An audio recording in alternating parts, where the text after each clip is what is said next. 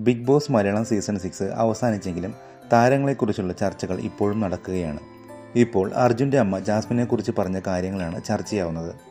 ജാസ്മിന് എന്താണ് സംഭവിച്ചത് എന്ന ചോദ്യത്തിന് മറുപടി നൽകുകയായിരുന്നു അർജുന്റെ അമ്മ. ജാസ്മിന് ശരിക്കും ഒന്നും സംഭവിച്ചിട്ടില്ല. നല്ലൊരു ഗെയിമറാണ്. ജെനുവിനായി നിന്ന് കളിച്ചൊരു വ്യക്തിയാണ്. ഒരു പാവം കുട്ടിയാണെന്നും അർജുന്റെ അമ്മ പറയുന്നു.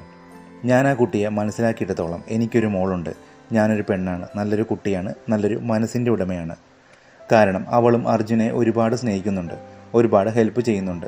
ഫുഡ് എടുത്തു കൊടുക്കുന്നതാണെങ്കിലും വെള്ളം എടുത്തു കൊടുക്കുന്നതാണെങ്കിലും ഒരുപാട് സഹായിച്ചിട്ടുണ്ട്. അർജുനെ എന്ന് വിളിച്ച് എപ്പോഴും കൂടെ ഉണ്ടാവും വളരെ സിൻസിയറായിട്ടുള്ള കുട്ടിയാണെന്നും അമ്മ പറയുന്നു.